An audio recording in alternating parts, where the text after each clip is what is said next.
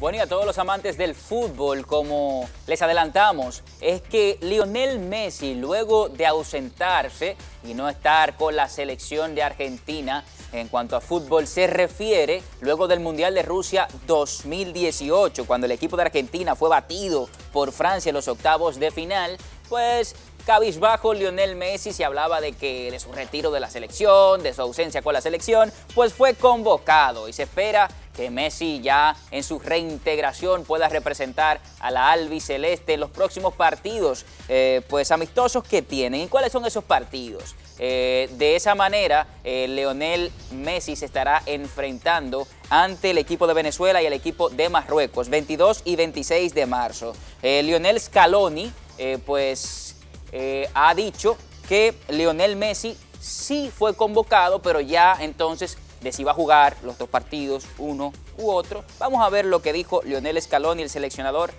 de Argentina. Dicen que va a jugar un partido, no sé, yo... No, esa decisión la tomaré yo, sin ninguna duda, no tengan ningún tipo de duda que la decisión la tomaré yo. Eh, no sabemos si va a jugar uno, dos o ninguno. Bueno, ya estuvimos escuchando, no sabemos si jugará uno, dos o ninguno de los partidos. Eh, vemos ahí las imágenes en pantalla eh, de entrenamientos. Otra inclusión importante es que Ángel Di María otra vez va a decir presente con la selección argentina, así que se calientan los motores. Ese partido del 22 de marzo Argentina en contra de Venezuela será en el nuevo estadio del Atlético de Madrid.